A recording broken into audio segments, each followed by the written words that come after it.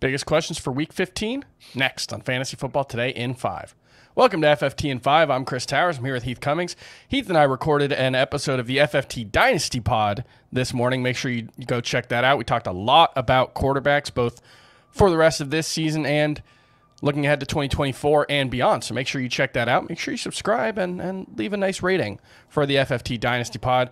We're here to talk about the biggest questions for week 15. And unfortunately, hey, look, it's another season ending injury to a superstar quarterback. This time, Justin Herbert has had surgery on his fractured right index finger. He will be out for the season. Easton Stick will start the final four games for the Chargers, uh, assuming he doesn't get hurt, which the way this season's going, who knows? What are your expectations for the Chargers offense? They did activate Josh Palmer from IR. He was a big part of their offense earlier in the season, but obviously, big downgrade with Justin Herbert going on IR. Yeah, I it's funny because on a on a per pass attempt basis, Herbert's never really produced a, a, a well above average number. He's always been right around seven, so it is a big de- decrease in mm-hmm. terms mm-hmm. of quarterback play, but it didn't bury Keenan Allen for me the way that I thought that it might. I've still mm-hmm. pretty much got him as a must start wide receiver. Um, the guy who actually continues to fall in the rankings despite a good game against the easiest matchup in fantasy football is Austin Ekeler. I, I mm-hmm. struggle a little bit with him just because I still think he needs a touchdown to be great.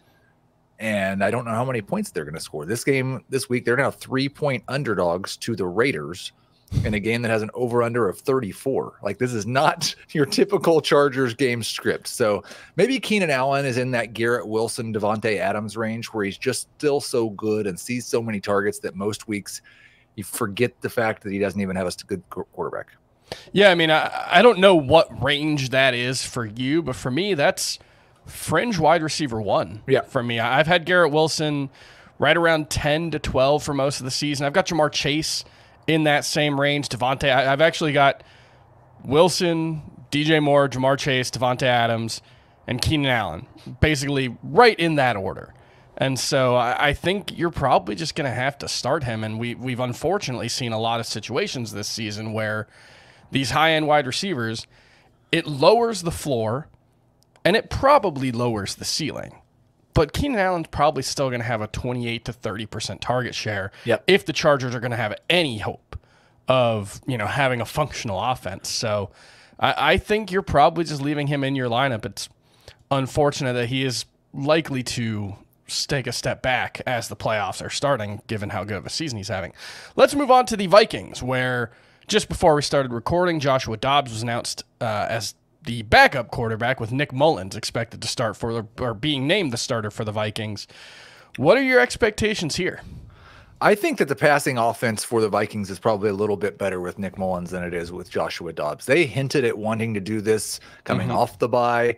Dobbs has the sixth highest off target rate as a thrower this season. He's done a lot of really fun things. He was great for fantasy because he ran so much, mm-hmm. but he wasn't particularly good passer. And he throws the ball 35% of the times to his tight ends. So, specifically for the wide receivers, I believe this is an upgrade, maybe a slight downgrade for TJ Hockenson. I think the offense is probably very similar. I've still got Hawkins as, as my number three tight end behind Travis Kelce and Trey McBride. Where do you have him? I, you know, I think he's six this week, but he's he's a, he's a, you're not considering benching him. Trey McBride is the one I guess you might have mm-hmm. McBride and Hockenson. I'd probably start McBride, but I also understand if you're so scared of that matchup against the 49ers that you don't want to. And where would you rank Justin Jefferson, assuming he plays this week? I'm going to go right back to him as a borderline top 12 wide receiver. He mm-hmm. played 13 snaps this week and saw three targets. So yeah. I, I just think it's like a Keenan Allen situation, except Jefferson is probably better and has a better quarterback. I mean, how annoying is it that like Ja'Marr Chase, Justin Jefferson, Keenan Allen, Garrett Wilson, Davante, like that might be. I don't know if those are the five best wide receivers yeah. in football. That's probably not the five best, but like that's not a bad top five list, and all are in that wide receiver one, wide receiver two range because they're playing with backup quarterbacks. It's been kind of a mess of a season, and eh, things look a little messy for Miami right now. They're starting center tore his ACL on Monday night. They'll be down him. Uh, Mold, I think they were down three starting offensive linemen on Monday night. Tyreek Hill's day to day with an ankle injury, and now Tua Tagovailoa has to face the Jets. It is at home. He had a not great fantasy game, but a pretty good real life game against the Jets the last time they played. What are your expectations for Tua? Right now, I'm expecting Tyreek Hill to play, but not be 100% himself. Mm-hmm. And with that expectation, I have Tua at QB 14. If Tyreek is just, we get to Friday and he's a full go and there's no question mm-hmm. about it, then Tua probably sneaks back into my top 12. If Tyreek is ruled out, then Tua is probably like around QB 18. So, so I do think it's still a bad matchup. Kyler Murray or Tua Tagovailoa?